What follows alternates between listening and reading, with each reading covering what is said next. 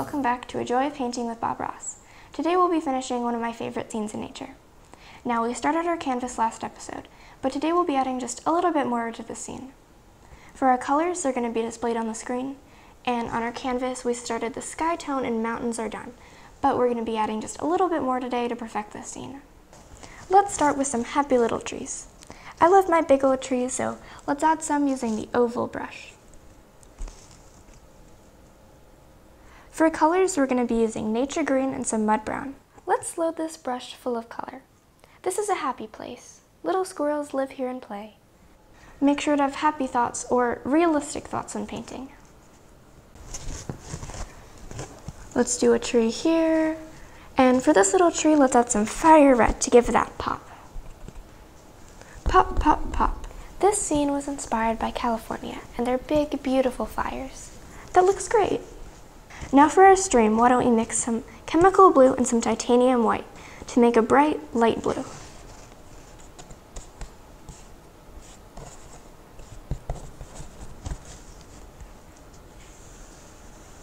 We're going to let this little body of water wander around in the distance. We really don't know where it's going, and we really don't care.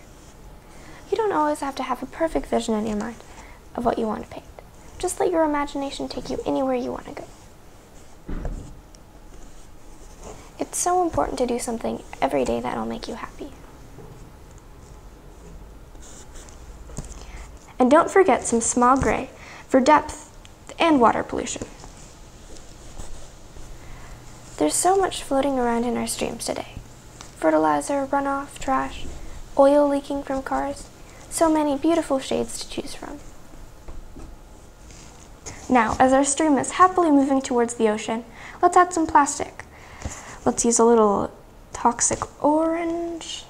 Eventually, this plastic will find freedom in the ocean, just like we can find freedom in art. Did you know that around 8 million pieces of plastic make their way to the ocean each year? Hazard yellow. Tap, tap, tap. What the heck? Some fire red too. That looks great. Some plastic friends for our little fish. Our scene wouldn't be complete without some factories. Looks like a good location right here. So let's take some small gray and oil spill black and mix those together to create a darker gray. Now, as we're dabbing on this darker gray, let's drop these little rascals. Today we have many types of factories which make all kinds of useful things. We also have these great big coal-fired power plants that make our electricity, but they also produce a lot of pollution and greenhouse gases. But we can paint whatever we want today. This is our world. Oops, well, everyone has happy accidents. Let's just turn this into an oil spill with our oil spill black.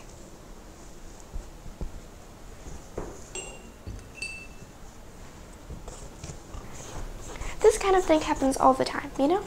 Did you know that power plants are the largest contributors of industrial water pollutants? The EPA found instances where power plants dump pollutants such as mercury, arsenic, and lead into surface water, such as this little stream right here.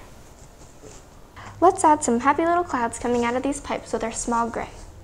Keep that brush moving, just let them play in there. Toxic clouds are one of the freest things in nature.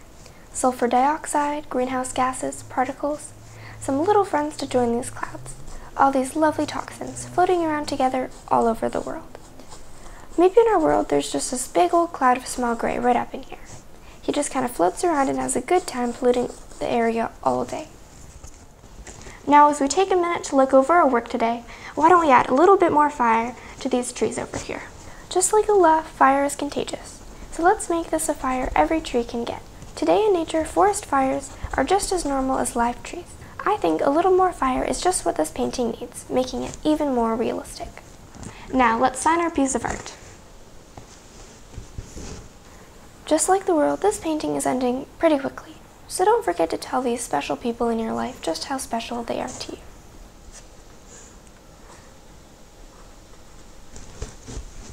Thank you for joining me on this great day. God bless you and happy apocalypse.